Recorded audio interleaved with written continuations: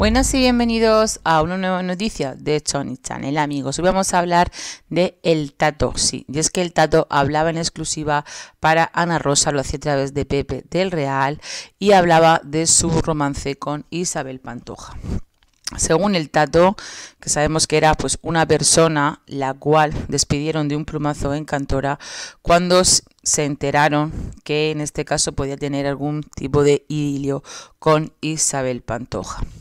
Al salir a la luz este supuesto idilio, se desvelaron los delitos que él había tenido y fue despedido de forma inmediata por Agustín. En este caso, pues para intentar borrarlo un poco del mapa. Han pasado ya dos años de eso y ahora el Tato ha podido hablar y lo ha hecho a través de Pepe del Real para el programa de Ana Rosa. Ha dicho que guarda muy buenos recuerdos de Isabel Pantoja porque se portó muy bien con él.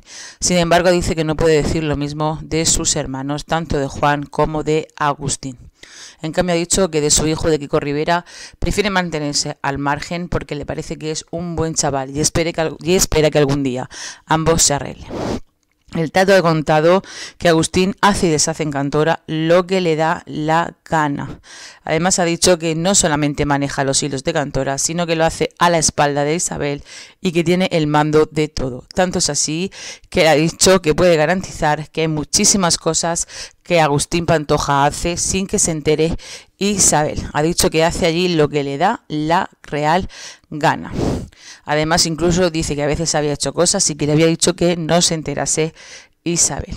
El teatro ha llegado a contar que en una relación, una discusión que tuvo, en este caso, con Juan Pantoja, Isabel tomó cartas en el asunto y a quien echó de allí fue directamente a su hermano. Dijo que si sobraba a alguien era él. Por eso es por el que el Tato dice que tiene muy buena relación con Isabel, que tiene muy buenos recuerdos de ella pero sabe que no es lo mismo sobre Agustín. No ha dudado en echar más leña al fuego con el tema de Agustín. Ha dicho que eres la persona que allí siempre está mandando, siempre está decidiendo todo y por supuesto ha dicho que hace muchísimas cosas a escondidas de Isabel. Imaginamos que toda esta información también le llegará a Isabel, no sabemos hasta qué punto se la podrá creer o no, ya que sabemos que Isabel está pues muy cegada también con su hermano hasta tal punto que no tiene relación con sus hijos y con sus nietos. Por lo tanto, si no ha hecho caso a sus hijos, pues tampoco pensamos que le dé mucha credibilidad a estas afirmaciones. Y nosotros, como ya sabéis, aquí en Sony Channel agradecemos vuestros comentarios y nos encantaría saber qué es lo que piensas. Gracias por confiar en nuestro canal Johnny Channel, tu diario rosa.